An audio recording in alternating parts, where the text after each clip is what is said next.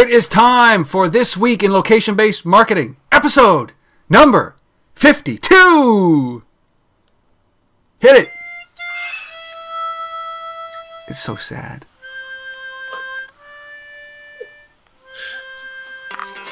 You know, we'll once we'll get a budget for this stuff.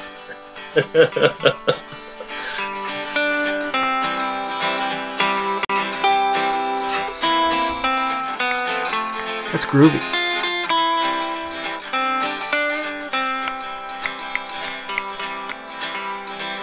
We don't have to listen to the whole song. I'm gonna blow. Ready? There we go. One, two, three. There we go. Action. All right. Episode number 52, Asif. Buddy, congratulations. A believe it. whole Can't year. believe it. Um, but we're here. A whole year. And you know what? We only worked on that for 15 minutes. There you go. That intro. My goodness, uh, 52 episodes, and this isn't just about like 52 episodes. This is 52 consecutive episodes that we've done here at This Week in Location Based Marketing. It's something that we should be very proud of. I can't believe it. And um, yeah, I'm impressed. What can I say? Yeah, no, it's it's pretty awesome, and uh, you know we, we're uh, we're getting tons of good feedback, and uh, I expect we'll be doing another 52. So Well, for those of you who don't know who we are and you're wondering what it what this is all about, we started on this last October, actually. So uh, yeah, end of last October, Mhm. and uh, we are now one year into this, 52 weeks into this. And uh, my name is Rob Woodbridge from Untether.tv, where I have been for the last 52 weeks, and I think that's a record. Not only did I have we done more uh, podcasts in a row than I ever thought possible, I've been doing the same thing for longer than I ever thought possible as well. It's it's uh, it's unbelievable. And with me as always from uh, Toronto, Ontario, Canada. Asif Khan from the Location Based Marketing Association. So yeah, I'm still flabbergasted. 52. It's crazy. 52. Yeah. crazy. I even got the shirt on today. See? I know. Oh, there you go. I seem to be uh, didn't get didn't get in the mail. Yeah, No. yeah. Well, you know, for 52 consecutive weeks, 52 episodes, we've been bringing you the best of the best of the best of the things that you should know about what's going on in the location-based marketing world, what's going on uh, in the mobile world. We've been doing that for you, and this is no different. We're not taking this one off. You know, it just might seem like it. You know, it started a little weak. Uh, that was our birthday celebration. Uh, but we've got lots of stuff for you on store today, uh, and and this, I mean, the the the industry doesn't stop. It's not celebrating, so we should just continue on down this way. I mean, Asif and I will go and raise a glass when we get together again, when we actually can meet, you know, Absolutely. connect each other. It's weird that you were actually in, in my town this week, and we still couldn't get together. So anyhow, Toronto's a big city. It's a big Yeah. city, and for you know a, a, a small city guy like me, tough tough to do that. But we we will do this because I think the last time we saw each other, we had to be in New York or something like that, right? mm-hmm. Yeah. So this week we've got uh, some uh, some weird name companies. I'll say that right now. A company called Yeah. Souq, a company called Ortsbo and Kowango, and uh, something with Gene Simmons, a little bit of Yowza, a little bit of SCVNGR, brand new feature. We're gonna we're gonna come to that after the uh, Yeah. the events, and we got some funding news, some IPO news, and of course our resource of the week. Right, all all in episode number fifty two. We're gonna jam through this because special feature is gonna be about ten minutes. So let's get going. Asif, unless you have something to say about uh, what's going on here, 52 episodes, or are we no, past that no. now? Let's get right into it. Plenty, plenty to cover. So we'll we'll Fair enough. make it happen. All right. The first funny uh, name, but it's an interesting company, and it's from a place called Dubai. Souq. Souq.com. Souq, yeah. So uh, I saw this story this week. Uh, really interesting company. Um, they're actually uh, apparently Souq. So it's S O U Q Right. uh, dot com. Um, they're the largest e-commerce marketplace in Egypt and, and the uh, the Arab uh, world. And um, you know they so they've done a bunch of stuff with their online uh, portal, their e-marketplace. But uh, one of the things that I found kind of interesting is they launched a, uh, a mobile app, an iPhone app that is location based. And Souq's primary market that they serve is, is kind of online classifieds around you know uh, housing as well as automotive. Uh, and they've taken that uh, into the location-based arena so that while you're out and about, um, you know, looking at different communities, you can basically pull up property listings and uh, find apartments around you, and um, you know all this kind of uh, geolocal relevant information, you know, through an iPhone app, um, you know, whether that be automotive data or housing uh, data, uh, it's all brought to you based on where you are. So, nothing crazy, unique, or innovative about it, um, but interesting that you know, uh, you know, a lot of us might think this is only happening in North America or only in Europe. Um, but uh, it's not. It's happening everywhere, and um, and it's happening in the Middle East too. So uh, r- really interesting stuff. Yeah, they're calling this the first location-based classifieds app in the region, which is, uh, you know, I, I, always thought that uh, that Dubai and the Arab world were dominant in the BlackBerry side. So uh, this, yeah. I think this is uh, this this is good. Um, and uh, really, this is this is not revolutionary. But if they're the first in, in Dubai in that region, then I think that this is something that sh- we should be highlighting here. So Souq, and this is S O U Q dot com. If you actually happen to be in uh, in in the Middle East, um, hang out, find your spot, find your next uh, rental or your next property, your next car with the Souq.com app. Yep. All right. I like that. Um, Flipping right over to our good friends, uh, I, you know what? I, will be the first to say, listen, you know what? I, I interviewed Greg Grunberg, who okay. is the uh, the figurehead uh, behind this company, Yowza, at getyowza.com.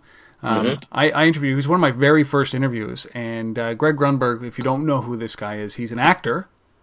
Right? He's an actor. He was the yep. Uh, he was Matt Parkman in Heroes. That's uh, and he was also he's been on a bunch of things. He's been in every J.J. Abrams uh, TV show.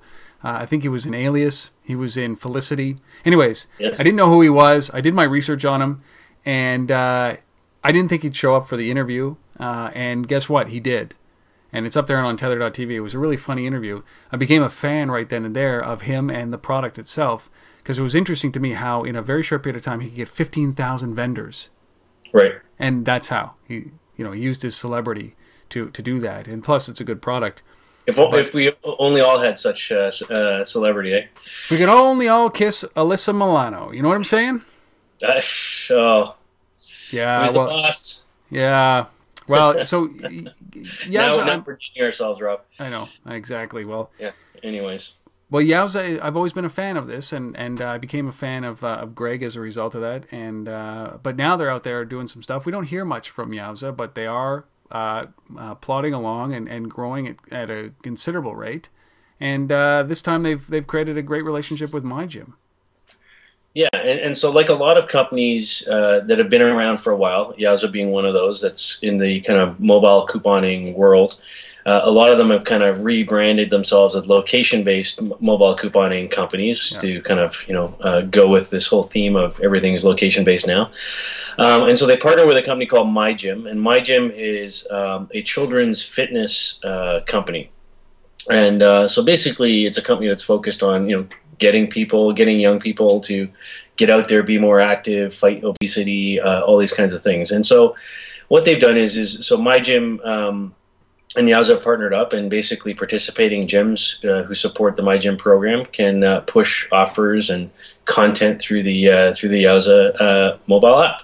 And so they've got this thing where basically thirty dollars off a new membership, uh, fifteen percent savings on classes, you know, a bunch of different specials that are uh, available through the system. And um, you know, I think it's kind of interesting, only because you know, we don't hear a lot about, um, you know, we hear a lot from Groupon and some of these other guys about uh, Living Social about manicures and pedicures and massages. Well, you know, that that's great, but you know, obesity is a big problem, and and you know, using leveraging location-based services uh, and partnering with companies that are you know fighting this this this challenge. I, you know, I like it. I, th- I think it's a good fit. Well, I, I, yeah, I do, I do as well. I mean, I think that uh, it, any anything that has to do with a, a good cause and and actually allowing parents to get their kids physically active this way, I think yeah. it, great great combination. And um, and so th- this is something that I expect. Uh, you know, I I would expect to see this across all gyms going forward. Certainly, not a lot of gyms I think have have uh, have leveraged location um, in their marketing or in their discounting. Uh, it's right. the funniest thing. I, I, pull up in front of my gym. Uh, it's it's the greatest thing ever. It's it's a fail, right? And this is where location-based marketing and and um, basically geofencing something, like like what uh, what Yowza is doing with my gym. uh, would work very well because I love this. When you walk up to the gym, it's like big ornate entrance, and then um, it's got right next to it, it's got like join for free, or uh, you know, it's got a three percent or a fifteen percent discount as you're walking the door, and and you have to be in front of the door to see it. Like that doesn't make any sense anymore. So I, well, I like what the best part with a lot of these gyms is, is like you come out the door after your workout, and right, right, right next door, right across the street is Fat Burger. Yeah, exactly. It's exactly what it is. It's it. so, Well, but well, in my gym, uh, yeah, I think you can smoke in my gym still. okay, good. Yeah, it's one of those. It's like uh, you know, all the meatheads are down there, and, and me, and, and they're all they're all smoking. Um, Nice. yeah. So Yao's in my gym. Don't smoke. Yeah, don't smoke. Anyways, good good partnership. Uh, you know, hope to see more from Yowza. Um, you know, it'd be great to get uh, get these guys back on the show maybe and uh, you know hear what they have to say directly. So let's let, let's look into that. Yeah, well, certainly uh, I can uh, I can reach out to, to Greg, and he he won't respond, but that's okay. I'm no celebrity. Our, our third story. Uh, this is this is interesting. So I got I got to ask you. Um, you, you know, I, I don't pick my um, my um, dryer sheets, my bounce sheets, or whatever you want to call them, um, very well, right? I look at the lowest price and I say, okay, listen, that's what I'm going to buy, and it's usually like a no-name product Yep. that stinks, and I get in a lot of trouble when I bring that back. But this is Downy Unstoppables, brand new product, working with our good friend Seth Priebatsch and his company SCVNGR to do a scavenger hunt in Vegas for this product launch. Yeah. Um, so he- here, here's my initial thought on this. Uh, first of all, I love SCVNGR. You know, we, we talk about how much we love Seth, how much we love SCVNGR. Um, so nothing bad to say about them or the or the product. Um, what I don't quite get about this is, um, you know, Downy launching, you know, P&G Downy launching a new product in Vegas, and and they're trying to say this is, you know, this is about a sensory experience, and Vegas is the ultimate sensory experience place it sounds to me like you know this thing launches on December the third. This this uh, this this um, campaign, which we'll talk about in a second. It sounds to me like it's the end of the year. They got a bunch of budget to blow, and everybody wants to go to Vegas on the marketing team over at P&G. Um, that, you know that's my take on this personally. But anyways, um, let's explain what it is. So Sure. And then you can make your judgment, which will be the same as yeah, ours. You can make your judgment. Uh, so it's called Downy Unstoppables. Uh, it's a new product. Um, basically, you know, it's scent beads um, is what they call them, and you can put this in the wash, makes your clothes smell nice. Same as the you know the old sheets and, and everything else. But now we're into beads. Yes. Um, anyhow, um, the thought process is is they're hiding stuff all over uh, Las Vegas. Uh, December the third, you use your mobile phone with the scavenger app. You go around, you find these things, you take pictures, you complete tasks. Typical scavenger uh, program. You know, you collect points and you win prizes. Um, and there is a big prize here, like the winning team, and, so there uh, you can sign up, and, and, and it's kind of like Amazing Race. You're running around the city, and you in your in teams. Um, and so they're taking uh, entries right now for this. I think they said something like uh, 750 teams. Uh, the first 750 teams that apply, yes, will be chosen to participate. Um, and you can sign up online. Uh, they also have a Facebook ver- uh, uh, page for this. You can also play online. But the winning team gets 20 grand um, in cash that they can split with their team. The second place team gets to stay at the Bellagio. So, um, Third place you know, team, you're fired. Yeah. I had to do that. Right? um, again, so nothing really innovative or, or you know unique about this. Um, it's just I think it's a little bit crazy for me. Like P and G, you know, I, know, I don't, freshener, freshener here. Like you know, we're talking about freshening our clothes, Yeah, and we're talking about you know running around Las Vegas and smelling stuff. Um, I don't know, it's very I don't know, I flowery the language around this. but that's just me. Well, so uh, you, you know, I, I love the fact that they that they're that they're doing this, and and to sign up if you happen to be in Vegas that week, it's it's DownyUnstoppablesHunt.com, and you can sign up there. And um, now here's the thing that that uh, missed opportunity. So the the big thing here, I think, is that they wanted to set this world record, right, for uh, the largest uh, scavenger hunt. Yes. Right. Yeah, Guinness record. Yeah. Guinness, Guinness record, and and uh, so they limited it to 750 teams, which I, I don't understand. Um, and and the second thing is uh, maybe it's a safety thing, maybe it's an insurance thing.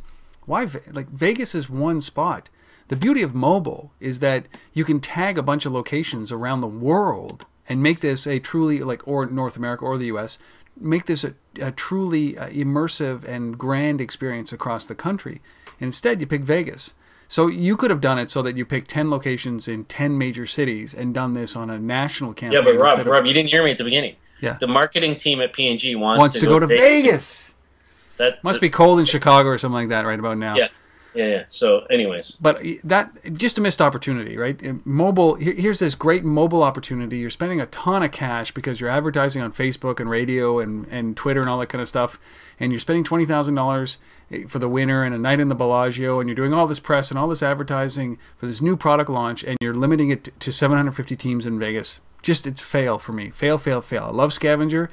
I can understand why they get involved. and I love P&G, they got great products. I just don't. I- I'm just not getting this fit with this Vegas scavenger hunt. Doesn't make sense. No, it doesn't. It does. It does not. The funniest thing was um, was I I mean you got to just but Google hey, this. hey, if you're listening from P&G, Rob and I are cheap. Yes, Send us some scent beads. We'll try them out, and we'll, uh, you know, we'll push them on the show. Hey, exactly. Send us to Vegas. We'll cover it. Yeah, there you go. What, here- here's an idea. Rob and I will be a team That's right. We just in we, Vegas. We'll run around and we'll do the scavenger hunt. I just think because because our um, I, I, it just takes a little bit of time to hitchhike there. That's all. So if you can fly us there, we'll get there sometime this year before Christmas. Done. So SCVNGR uh, reaching out again, big brands. Like one of the big things that the big story here, I think, is the fact that uh, SCVNGR, uh, you know, latching onto another big brand or another big brand latching onto SCVNGR, which I think is uh, kind of fuels the fire and the flames around SCVNGR. At some point, has to something has to happen with that company. It's getting too big, working with too many big brands to uh, to not kind of draw attention to itself from the big guys like Facebook or something somewhere. Somewhere. P&G, SCVNGR, Vegas, Downy Unstoppables, World Guinness Book of World Record for largest scavenger hunt, digital scavenger hunt, 20 grand up for grabs. That's the third story. Fourth story, this this is great. Like I think that this might this might be the story that we cover here. This might be the story of the week around uh, the uh, Wetherspoon pubs, uh, their augmented reality. Maybe that's lame, but their their couponing initiative that's driving uh, students to their bars. This is pretty cool. This is pretty cool. Um, so, so this is a British pub chain uh, called Wetherspoon um, that has a bunch of pubs. They partner with Bacardi, um, and they ran uh, basically a campaign, as Rob indicated, you know, about pushing, you know, on, you know, putting up posters and signage all over university campuses with uh, symbols on them. And if you had the mobile app, um, basically you could you could scan these things and you could see augmented reality um, offers and, and incentives to you know drive traffic to these pubs. And this is a campaign that's uh, completed. And, and the you know I was looking at some of the numbers on this thing. Staggering. Uh, we- we- it's staggering. So they ran this uh, in September. Um, 280 pub locations. 9,000 people downloaded the uh, mobile app, 34,000 coupon downloads, and a redemption rate of 40% in, in six weeks that this thing was running. Uh, pretty crazy. Um, and and you know it was, it was really interesting. So they had you know had, they had this digital content on as I said on symbols, you know they were on posters, they were on beer mats, they were on T-shirts, they were on all, you know things that you know students interact with when you're at university. I mean, um, you know uh, you know whether we like it or not, people are drinking, and um, you know why why not uh, why not get get behind that and uh, you know. Um, you know, try and leverage some of this new technology to uh, to drive people to to your to your locations. It makes sense. Uh, it's a good fit. And then when they're done, when they're done drinking and they've got the beer guts, then you know hook up with my gym and uh, go over there. Get There a you go. discount from from Yowza, and and then uh, and Yeah, then yeah. absolutely. Get on Yowza and get a discount from my gym. Well, one of one of the things that was interesting about this was that you could um, there there was a feature that you could tag uh, yourself and items inside of the bar or around uh, Yes. the bar, and uh, when people found those things all through the app, when people found those things, they too got a discount. So it kind of propagated this this kind of this Yeah, couponing. kind right? of had a social magnification element. Yeah, So I, I like this forty percent redemption rate. So nine thousand apps downloaded in six weeks. In the six in the six weeks this went, forty percent redemption rate. Like that's that's pretty uh, that's pretty remarkable uh, redemption rate for this. Now the question would be, Um, are they at a new level of engagement with those customers? So, did they get the forty percent in redemption? Was it all the same guys that usually go to the to this bar, or did they have some right. some other new revenue added onto it? So, was their new normal a little bit higher as a result of this? And th- those are the numbers that nobody ever talks about, which is uh, right. I want to know. Tell me, did this boost revenue, or are you back to normal, or did this cost you in the long run? Because I think that's the difference between a good and a terrible engagement in mobile, especially location based and couponing. So dangerous. But 40% redemption rate? Pretty darn good. Not so bad. The, the yeah. uh, augmented reality piece on the posters, not so sure that it mattered that I could see a spinning logo or anything like that. But uh, you know what?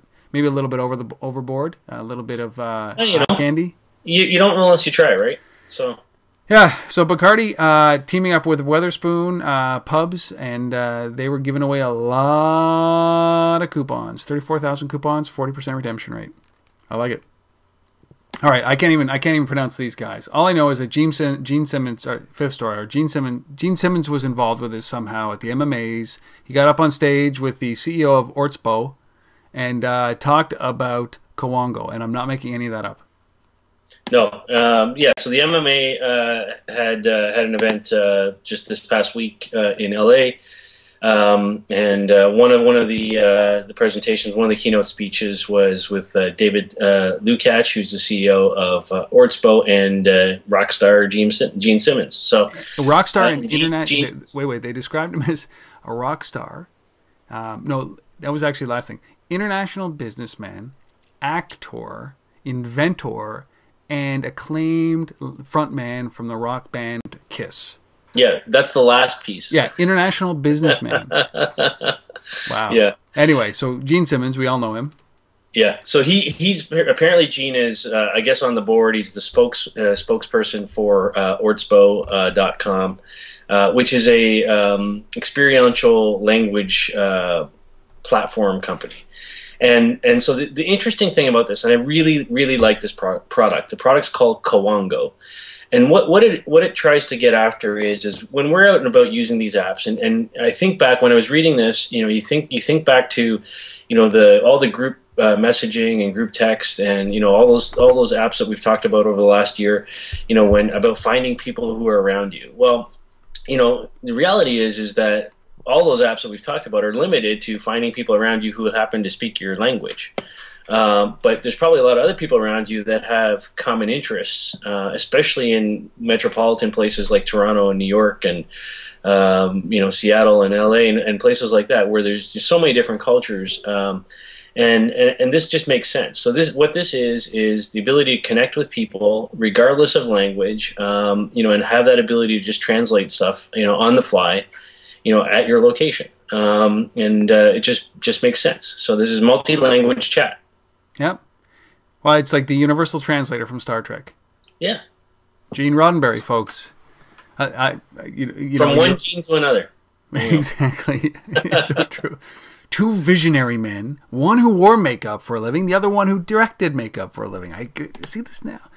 Yeah, you know, I, I like this. I, I think that uh, natural search, uh, regardless of language, um, yeah. It's funny because it's do you see, uh, maybe there is a time where language is is irrelevant, right? And we all are walking around with a box on yeah. around our, our neck saying, "Listen, this is the universal language is language. It's not uh, it's not English, it's not French. It's just a way to communicate."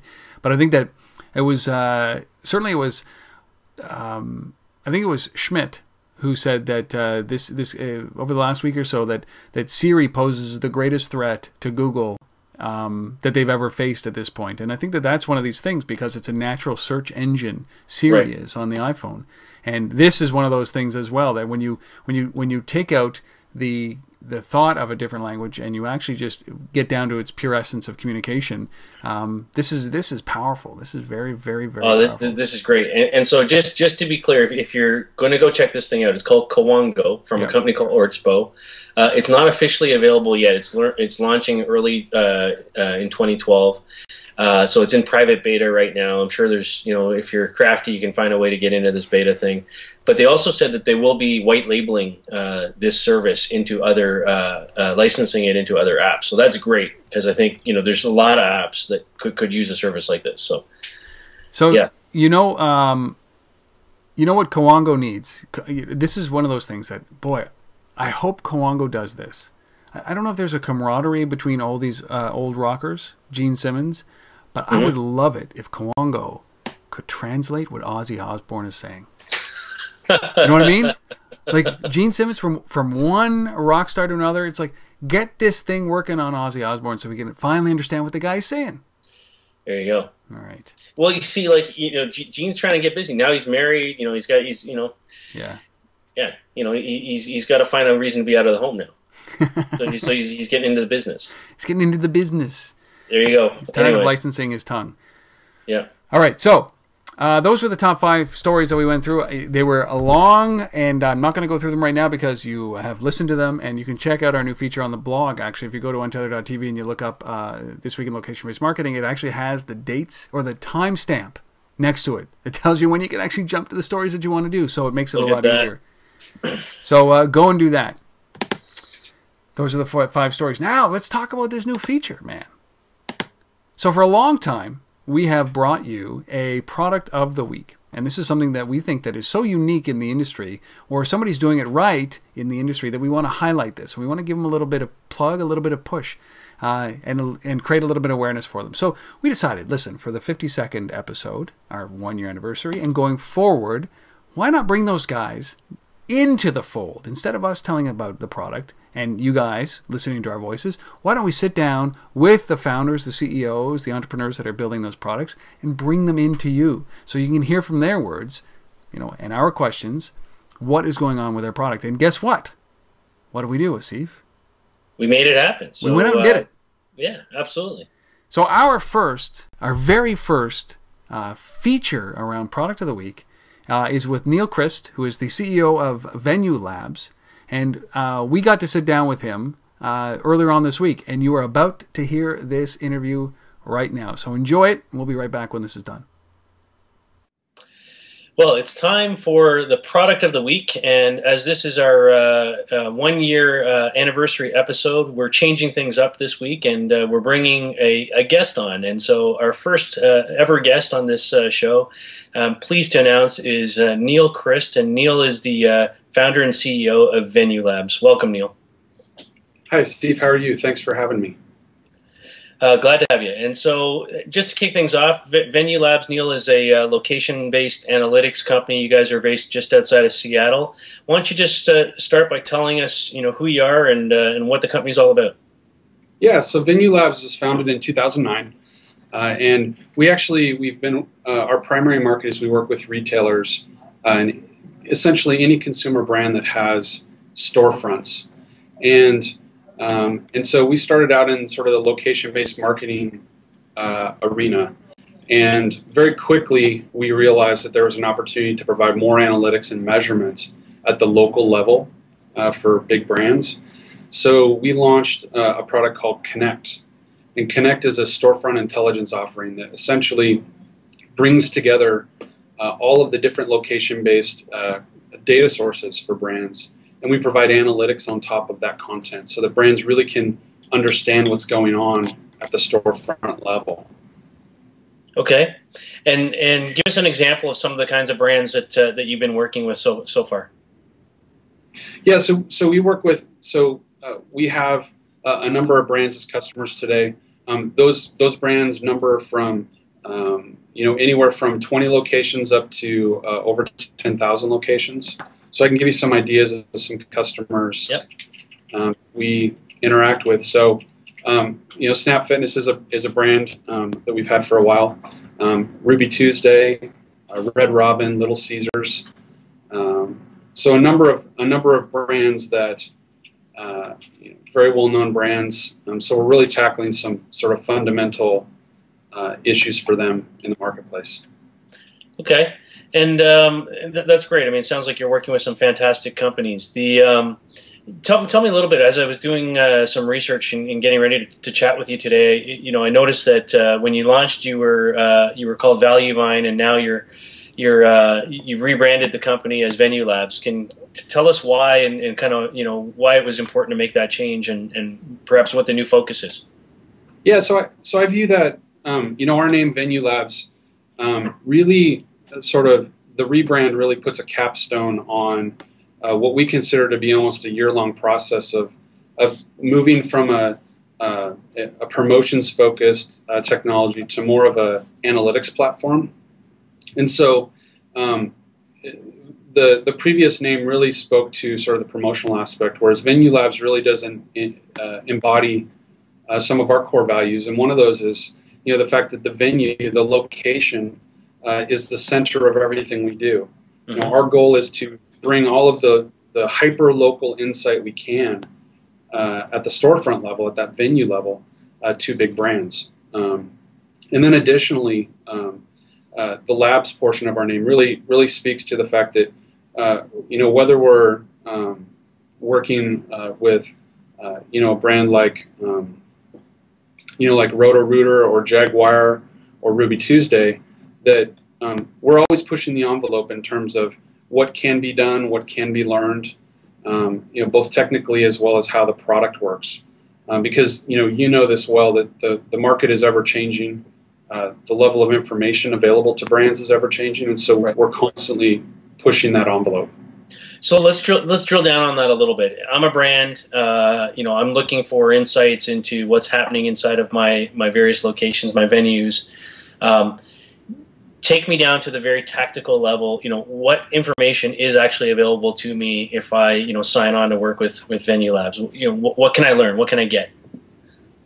Yeah, well, so that's a great question. So um, I, I, should I should let you know that you know about uh, I'd say about two or three weeks ago we launched Venue Rank, and venue rank is a scoring mechanism, a scoring algorithm that we provide to brands, and we score their storefronts um, uh, on with a single score from one to 100. That really gives them a single lens to understand the quality of the customer experience at the local level. And so, what this allows brands to do is not only to see that, uh, to compare their stores on a regular basis, but also to um, to understand those stores relative to each other within a brand. Um, as well as um, we have uh, some brands using it for competitive reasons um, to understand how does how do my stores stack up relative to the to the benchmark in the industry or to the store down the street. Um, and so my, my reason of bringing that up is it kind of gets to, to part of your question, which is, uh, you know, there's all of these data points out there, right? There's things like check-ins and tips and mm-hmm. comments and likes, follows and retweets, and there's all these data points that, you know, what brands have been asking us is what is the relative importance of all of these things? Um, how are we to to blend all this together and sort of have a unified understanding of, of, of how our storefronts are doing uh, from those perspectives. So what we did is we took uh, Venue Rank is really um, it, it, examines four different um, uh, dimensions. it examines reach, uh, engagement, uh, community, and then customer happiness. And all of the signals that we bring together, we're looking at and measuring and analyzing from those perspectives uh, to really give them that, you know, that score. So it's a combination of you know real data in terms of you know who's there, check-ins in terms of frequency, let's call it, or, or, the numbers, as well as sentiment information around you know what do they think about it, the tips, the recommendations, the you know all that other stuff. Um, so Absolutely and so it's one of the challenges that that you face uh, in, in building a scoring system like that. You know, kind of ever increasing the number of feeds or data uh, sources that are coming into this, or you know, h- how do you manage that aspect of it, or what are the data sources at the moment? Yeah, so so there's definitely so today, and, and from a data source perspective, you know, um, I think the, the, the latest number I've seen is that there's probably 350 uh, or more different sources that uh, point to any particular business location. And so if you think about a brand with a thousand locations, that's a large uh, a large footprint of data sources they need to worry about. Mm-hmm. I would say more practically for our brands, there's probably about 30 uh, for any given brand that they need to care about. Um, and so part of what we're able to do is is identify the ones they should care about that have activity and bring those together um, so that they have sort of a a, a unified view now. Now, how does that change over time? I think what VenueRank does is it really says uh, to a brand, it says, okay, um, if you're uh, a, a coffee shop chain, or, or a single coffee shop location, um, and your your venue rank is 72.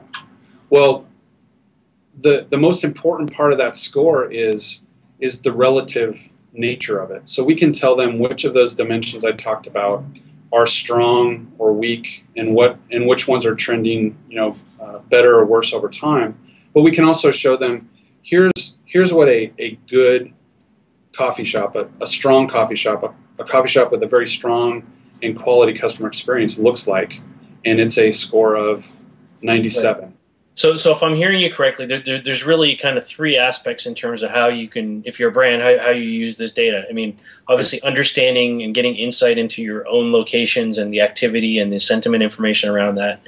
Um, you know, as it pertains to to the properties that you physically own. Uh, yep. un, you know, using this data to understand how you fit against you know competitors that are in your uh, proximity to um, you know where your locations are. Let's say. Um, sure and I guess a third would be, you know, kind of what you just alluded to, which is understanding better or broader, you know, the broader category that you might be in. So if you're in grocery, for example, and you've got, you know, all these locations, how are other uh, grocers, uh, you know, uh, working and, and, and, reacting to location-based data, um, you know, relative to where you are? So not just competition, you know, in terms of physically, you know, I have a store at this intersection, and there's a competing uh, coffee shop across the street uh, but you know, within the category at large, you know, looking at that data as well. That, that's true, and I, you know, the other point I'd make, in, in just in terms of looking at our brands and how they use uh, our platform today, I'd say the other key area that they use us for is really when you think about uh, how advertising dollars and marketing initiative dollars are really shifting to local, and I think we've seen some some numbers about about how quickly that's going to happen over the next couple years. Brands really need to understand what's the local impact of uh, those initiatives. And so right. what we're able to do is, you know, both at that venue rank level as well as when they drill down into the components, they're able to look at how their initiatives are impacting their storefronts. And the, the level of insight there, I think, is, is fascinating in terms of, you know, we see geographical sensitivities to certain types of marketing. Um, and that, those feedback mechanisms, I think, are going to be really powerful for how brands optimize uh, their, their marketing and advertising over time. Fantastic. Well, Neil, I think uh, you know that that's our time for today. I really appreciate you uh, coming on the show and sharing with us, uh, you know, the exciting things that are going on at Venue Labs, and we're certainly uh, proud to uh, have uh, Venue Labs as as a member of the Location Based Marketing Association. So, thanks for your time, and you know, best of luck. Great. Thanks very much, Asif. And that was Neil Crist, CEO of Venue Labs. Well, Asif, I mean when, when you hear something like that and uh, you wrap your head around what these guys are doing, you know, I, it can only be told in his words. That's no, the way I feel. Absolutely, and, and, I think it's it's so much more powerful to you know have the leaders or the, you know senior executives, visionaries from these companies tell tell their story in their own words. And so, you know, I, I think this is going to be a great, uh, you know, piece or addition to what we do every week. And you know, and in particular, location based analytics is something that's you know core to my uh, being and, and and you know a, a, key piece of what I think is necessary in all of these products that we talk about. So, you know, a great place to start. So, uh, thanks Neil for doing that. And uh, you know, I guess now let's let's move on to the funding. Well, I want to do a call out. So we've got Neil on there, and for those of you guys who are listening where whatever you're doing, whatever company yep. you are, why don't you reach out to us? And uh, and if you want to if you want to actually sit down with Asif or I, like we just did with Neil, it was Asif that sat down with Neil. Um, we would love to have you on the show and highlight a product if it fits this location-based, mobile-based uh, uh, piece that we that we cover here. So reach out either at asif at thelbma.com or untethered@gmail.com, and we'll we'll work around your schedule to get you onto the show if if uh, if we can do that reach out. We'd love to have you guys on the show and help you promote what you're doing uh, in this space. It's very important that we do that, right? Absolutely. All right. So if you want to be uh, if you want to be on the show, we're going to do this every week when we have a, a, a relevant uh, a relevant company. So we'd love to hear from you. Now let's jump into the funding. Yeah, no guests here.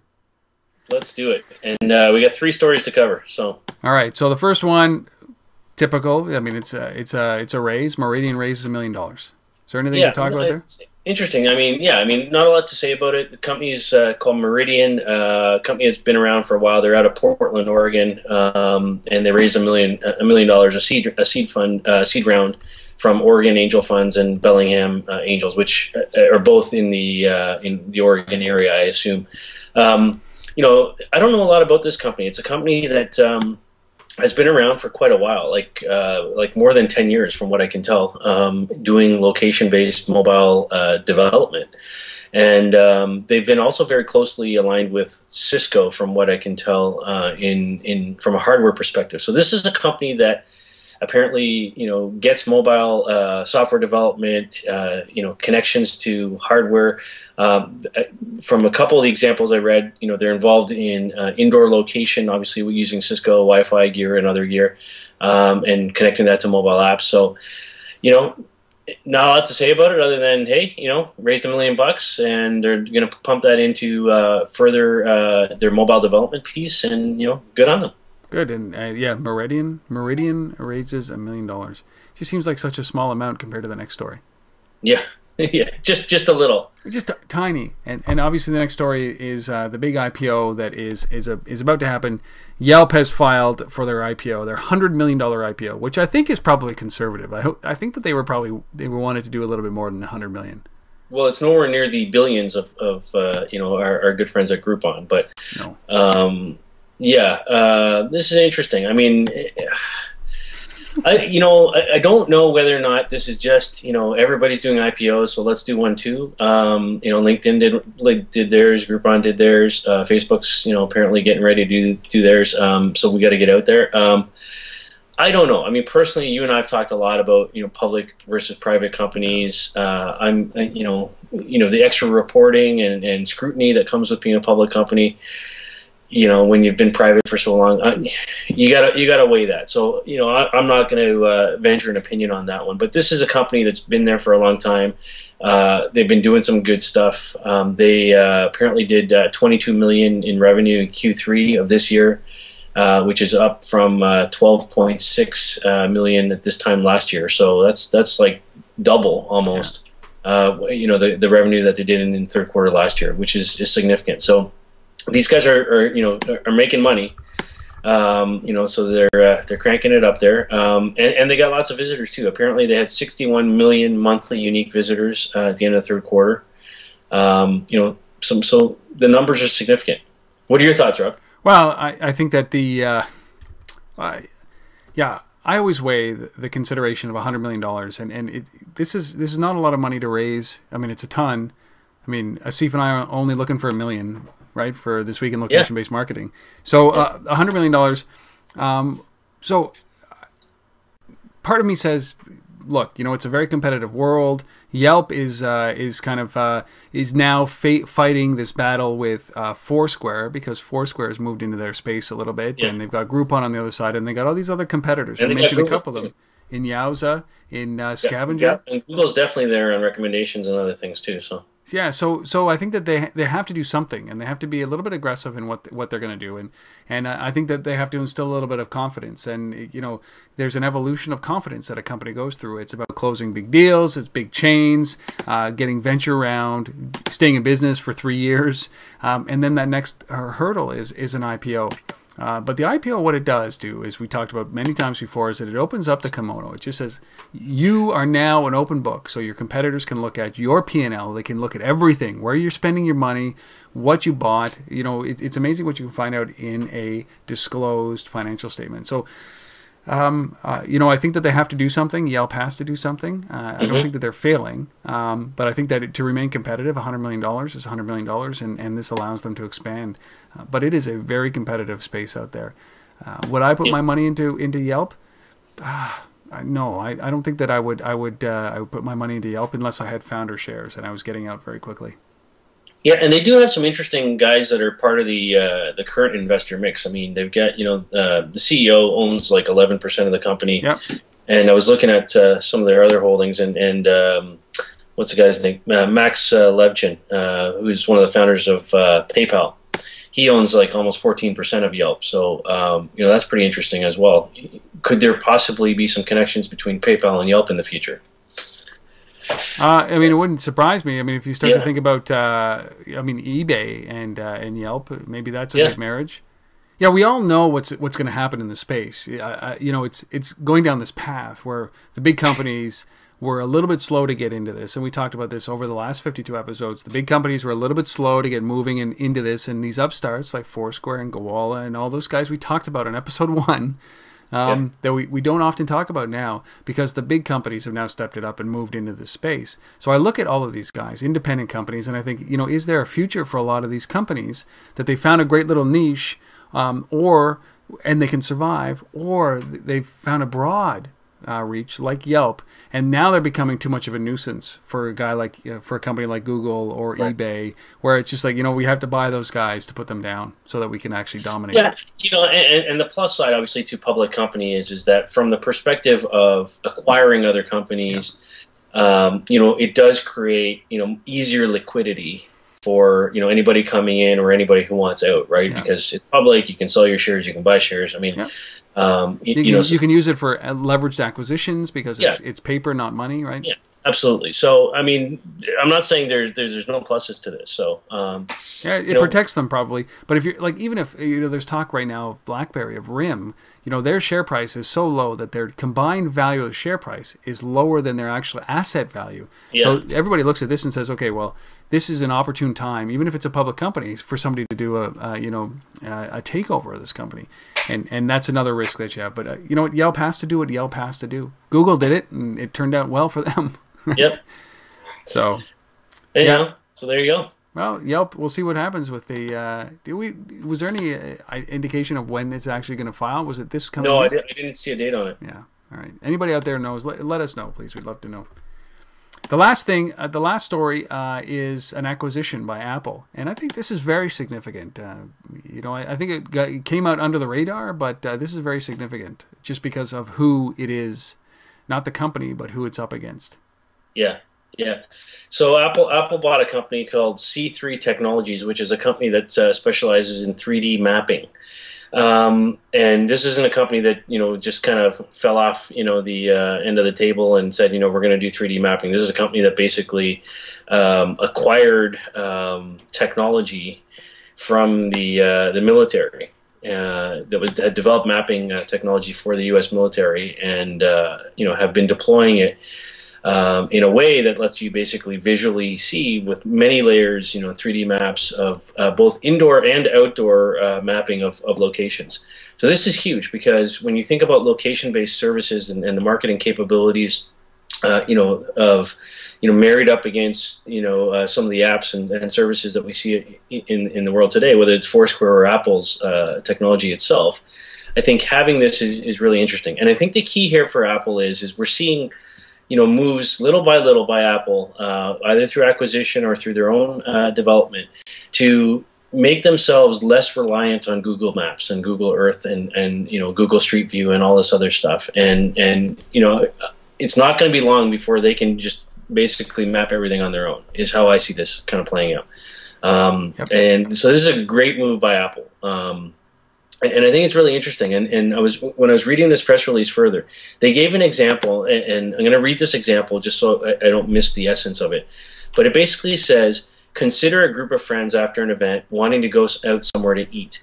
They fire up Living Social or Groupon, or you know they use Living Social as an example here, uh, and uh, to get recommendations on where to go.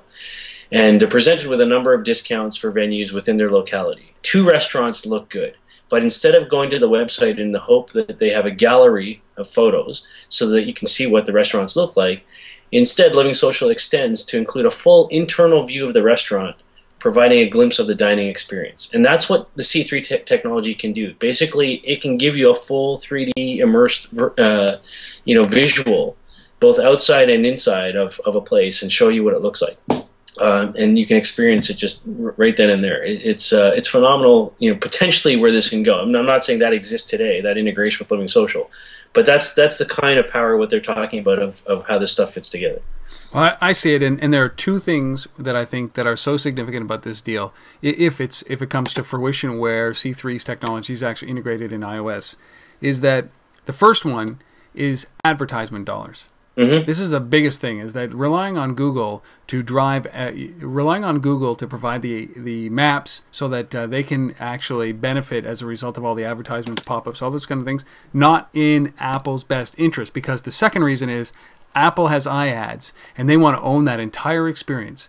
They want to be able to create the value. They want to create an ad network the same way that Google's done, and they don't want to drive, you know, the, the uh, contribute to their high, biggest competitor, which is Android, their success. So I think that this is a good move. And the third thing, quite frankly, is the fact that Google, and why would they do? Google is now charging for uh, uh, access to the uh, Google Maps API at a certain level, high level. And this could be very, very, very costly for Apple. So to buy this company and integrate it and move away from Google Google Maps, obviously this is this is what they're going to do at some point. I, I don't know if it's going to be iOS 5, my uh, prob- or or uh, the uh, new iPhone 5 that you know in a year from now. But uh, perhaps iOS 6 integration, who knows? But it just seems yeah. logical for me. Those three reasons. Yeah, and the other, the other, thing, just just while we're on the topic of Apple, before we leave this and, and move on, uh, the other thing that uh, Apple announced this week is uh, the uh, they were awarded a patent uh, in location-based services, and it's actually a patent that they didn't apply for themselves. It's a patent that they acquired uh, from Xerox um, some time ago, and uh, it was reissued this week, you know, to Apple um, because it was originally issued to, to Xerox. And I'm going to read this patent because this is huge um, as, as, well. So this is. Uh, uh, the patent reads as follows a, a, location information service uses a positioning system such as the civilian Navstar Global or GPS in combination with a distributed network uh, the location information system goes on, and, and, basically, you know, it goes on and on to basically outline uh, what this thing is. And the claim is a location information system that displays location-specific information and uh, comprising of a receiver that receives the location identification from at least one site-specific object identifying a location, and a transceiver that transmits the location back. So the bottom line is, is these guys have now been awarded the most broad location-based patent that I think you could possibly get. What does that mean? I mean, like for Foursquare and Facebook and Samsung and HTC and all these guys, I, I don't know because this is a patent that's way back from 2000. Well, I think it's, that uh, it's crazy. It's as, crazy. Well, as uh, Tom as Tom Merritt and uh, everybody at uh, uh, Tech News today talk about, it's the patent wars, and I wish we had our own theme title yeah. like they do. But this is uh, this is going to get a whole lot uglier before it gets uh, gets settled. Right. Certainly. And, and Apple, you know, eh, you know, it, it, will probably sit on this for a while, and uh, you know, it, it's like a lot of good companies that get patents. You know, you you pull out the big guns when you need to, right? Wow. Apple, and, uh, Apple tends you know, to shoot. It's, shoot it's always quickly. it's always a good strategy to let your competitors blow a pile of money on developing stuff, and then you know, uh, and then hit them. Wow. Yeah stifling stifling innovation. But that's another story we're going to talk yeah. about. Anyways, we'll leave that alone. But anyways, uh, all, all just to say, Apple's been very very busy. Yes, and they've been sl- slowly doing these things. Uh, yeah. Meridian raises a million dollars. Yelp files for a hundred million dollar IPO. Uh, Apple acquires C3 Technologies for 3D mapping, and obviously are awarded a pretty substantial patent in this past week as well. What a week! What a week! So we'll just finish off very quickly with a resource of the week, which is um, all about virtual goods and mobile gaming uh, and how the revenue from those are growing at a breathtaking, and I use that in quotes, breathtaking pace. Yeah, so this uh, we'll put the link up. It's uh, coming from again from eMarketer. These guys are great for uh, yep. for finding this stuff, um, and the data itself that they're looking at uh, comes from Juniper Research. Uh, and it basically looks at uh, kind of this, this growth of virtual goods purchased through mobile. And uh, in 2011, uh, this year, that's uh, that's three million or three billion bucks, um, and uh, they expect it to be at 4.6 uh, billion. So this this is growing uh, pretty significantly, and you know it, it's interesting. And, and, I actually spoke with a guy this week. Um, who has a, a platform, a back-end platform that they license to mobile game developers. so they've been working with Red Robot, who we've talked about before on the show, and, and others. Um, and the interesting part of the conversation was is we talked about you know how do you actually make money in mobile or location based gaming? And obviously advertising is one model around that and virtual goods uh, you know is, is another way to do that. But the percentage of people he was saying that actually purchase virtual goods uh, versus those that just play the free versions of the games you know it's it's it's such a small number. It's like you know less than 2% yeah. Uh, of the total users but they've uh, they've they've started to find a new revenue model, which is you know actually bringing physical locations into the mix. So what they're doing is is they're signing deals with merchants, with retailers, uh, or and, and, brands, for example, like Starbucks. Um, and so what they'll do is, is they'll say, you know, okay, you're playing this game, and if you want to get certain virtual goods or, or items or powers or whatever it is that's in this game, you can get them, and uh, and you don't have to pay for them. Um, they, they've been paid for for you by a brand, but you have to go to this physical location, this Starbucks, to actually get it. Um, and, and, that's you know an interesting model that's starting to emerge in this space. So you know, and so now we're seeing real locations, physical locations, come into this concept of mobile gaming, and so now we're getting you know true location-based gaming. Yeah, and I think that that's something. You know, I'm not as as uh, impressed by these numbers because they're talking about three billion in this year to 4.6 billion by 2016. Yeah, that really isn't growth for me in a space that's going. You know, actually, it's concave the growth that we're seeing right now in the mobile space. And uh, so going from three to 4.6, ho hum. And my guess is a lot of this revenue is around, they say, because this is around mobile social media, networking, dating, and virtual goods 2011 to, uh, to yeah. 2016. So my guess is this is a lot of uh, credit buying on the uh, on the dating apps, right? Um, it could be. Yeah. yeah. And, and uh, they don't break it out though, so. No, they don't because it would. I think it would be um, um, uh, quite telling where people spend their money and I'm pretty sure that if, if somebody figured out how to uh, to charge effectively for mobile porn, uh, th- that number would accelerate a whole lot faster. That's just because it, it's a it's a leading indicator, and uh, those guys uh, typically are uh, driving good revenue yeah. in in relation to this. And, and so I think that th- these numbers, well, um, you know, it, it, these wouldn't entice well, at least it's not shrinking, right? Yeah, it's it is not shrinking. Yeah, but it's not growing at a rate that we think that yeah. I, that I think should be growing at. So, you know, I, again, it's it's they're not great numbers, but I think that uh, I think as people, you know, we've gone through that transition that said, you know, five years ago, who in their right mind would buy something a virtual good? Now to this year to actually driving enough revenue to make it an industry, and then right. by 2016, I think that this number is very low because how can you predict that? The next five years? Come on, something's going to happen you know that uh, that's going to change the way that we use these devices, or virtual goods are going to become relevant, like a currency or something like that, and it's going to blow this number out of the out of the ballpark. So, but this is eMarketer, uh, and and uh, they do this uh, um, through Juniper Juniper Research, and we'll include the link right up there. There you go. And if you're not watching this right now, and if you're not where that link is, well, I can't help you. Just and, do a search and for virtual goods. and you've been watching forever, um, you know, have a cupcake. Have us. a cupcake on us. That's right. So that's 52. it. So uh, I want to thank uh, each and every one of you guys who are listening or watching right now for coming along with us for these first 52 episodes. This first year that we've done it, it's been a blast doing with Asif, and I can't I can't wait to uh, to start next week on our second year, which is unbelievable to think about, and drive our way to our next monument, which I think is probably going to be our well, well, we'll celebrate at 75, but definitely 100, 100 episodes, so 48 yeah. to go. It's been a great, it's been a great 52, Asif. I really, it's I'm really awesome. glad that we got and, to do this. Uh, I thank you, Rob, for uh, for for being here and uh, doing this with me, and uh, I thank all of our fans and, and everybody who's out there watching. Uh, we appreciate it, and I just got a tweet from uh, from one of them, so you know that that's that's fantastic. So, Aaron who just tweeted us. He's uh, CEO of a company called uh, Taza, which is actually in India, um, nice. a location-based company in India. So um, thanks for that.